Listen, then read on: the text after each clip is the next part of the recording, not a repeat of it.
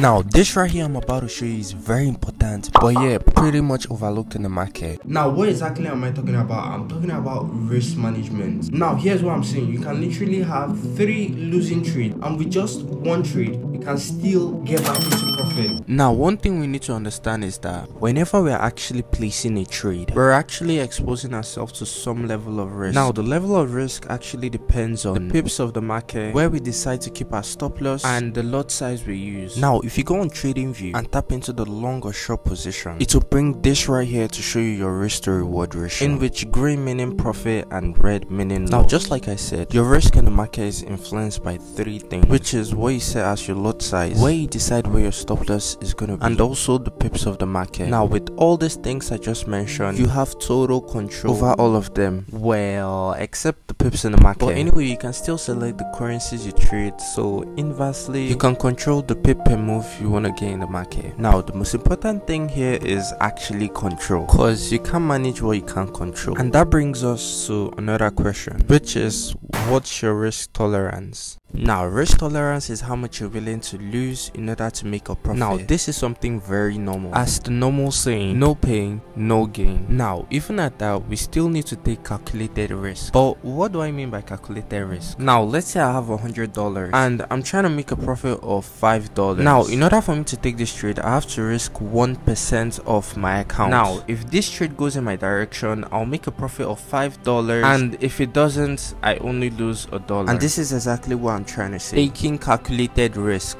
Now, for you to even get risk to reward ratios like from one is to three, this is not something that will be in every trade. It actually depends on a lot of things. Some things like the market movements, what session of the market are you trading, and where are you going to be keeping your stop loss. This all depends whether you're going to get like a very high risk to reward ratios. One of the easiest way that you can get like one is to three risk to reward ratios is actually during consolidations in the market. But the only problem is this is that you have to know when the market have already gone into consolidation and know where price is mostly reacting to. So let's use this point right here in the market. We could actually see that you know price was mostly reacting to you know this part in the market is, is quite clear. We're not able to see like a candlestick you know passing this point. All we're seeing is just you know wicks, wicks, wicks, and all of that. Now that's actually for this first part here right here in the market. And we have to draw like the down part of the market. Now we can clearly see where the consolidation is in the market because we have already drawn in like you know the resistance of the market and the support of the market. So it's kind of like a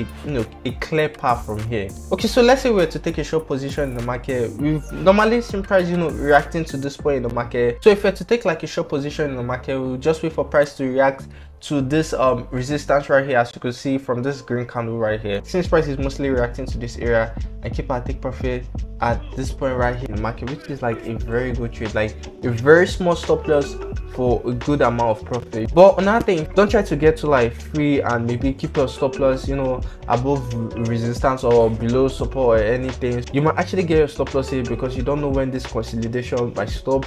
And you know whenever consolidations are over um you tend to see like a very big breakout in the market. Now if you're someone like me that wants to target all these trades in the free market there's still some things that you need to apply. Just make sure you know you're getting everything right. Now the first thing is make sure whatever pair you're trading you know you're actually in the right section of you know the market you're in the right section of the market because you can't be expecting like one is to three or one is to four or one is to five in Asian session when you're trading GBP USD. And that's one thing you really need to consider because you cannot be trading GBP USD during the Asian session because these are actually New York session pairs and London session pairs. Now, in order for us to get like a very good risk to reward ratio during the free market, whether the market is moving up or the market is moving down, we obviously need to have a strategy because we can't be guessing where the market will go to and start hoping that we get one is to three or one is to four or one is to two. Uh, that doesn't happen. That's actually the very easiest way to feel. So you need to have a strategy. And that's what i'm about to show you guys right here now if you guys know the two major directions that you can use to make the most amount of money in the market is either the market is actually moving in an uptrend or the market is moving in a downtrend. Now i want to break this in the simplest way possible. Now whenever a market is actually in a trend it actually has a push phase retracement push phase retracement and so on and so forth. Now this is the most common way that the market actually move. Now it's not every single time that whenever the market is moving an uptrend it just have this special movement and when price is in a downtrend it has a special movement. No it's not actually always like this. Now one of my goals for this year is to spend less and make more. And with the broker i use vantage market that's going to be very easy. Now if you're wondering how that's possible with vantage market you can pay the lowest spreads get fast withdrawals and deposits trade multiple assets like forex crypto stocks commodities name it they got it. So if you want to enjoy all of these things i've just mentioned so go ahead and click the link in the description of this video and create your own trading account now this is the market right here. Now if i were to actually watch the direction of this market i'm pretty sure like most of your answer will be downtrend because if you look at the overall direction of the market you can see that the market is majorly you know going down on this point right here. Now what about if we are at this starting point of the market and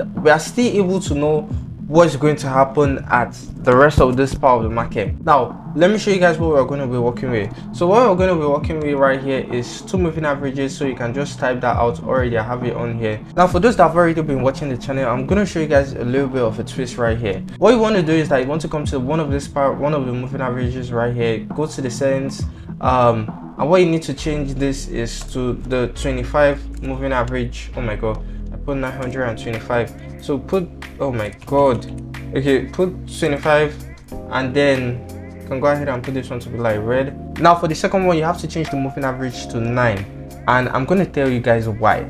Now as you can see right here the length is 9 and um, just put the length to be 9 and then you can go ahead and and put this with any color that you like. Then pressing ok and then we actually have this.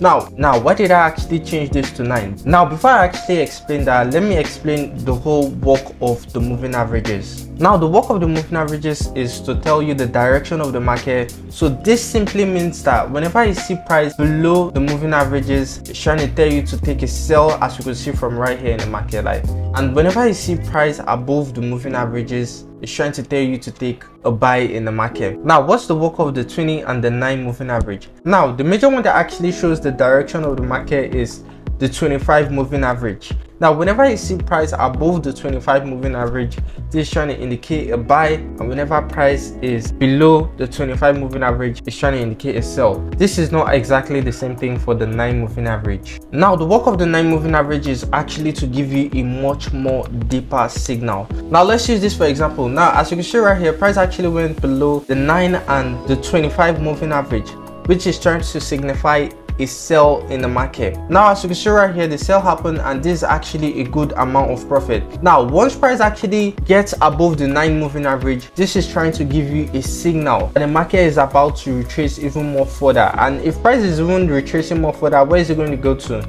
It's going to go to the 25 moving average. Then when price gets to the 25 moving average is at that point you see whether price is still going to go in that downtrend or maybe go up for that. Now this 9 moving average has obviously saved you some pips of retracement in the market. And as you can see right here price went below the 9 moving average.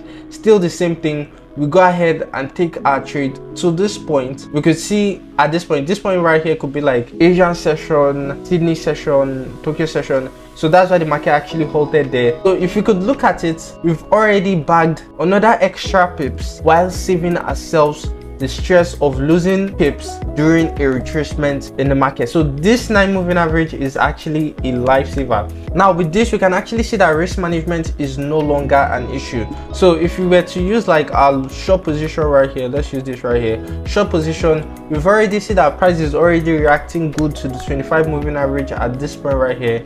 We can go ahead and take a sell let's say from this point. You can go ahead and take a sell and keep stop loss above this point you know above um where price is already reacting to and target this point right here. We could see this is actually a clear one is to two. Risking one percent of our accounts to make double of what we initially risked. So if you guys like the video make sure you hit the like button and happy new year to you all. I hope you guys you know achieve whatever you guys have already set for this year.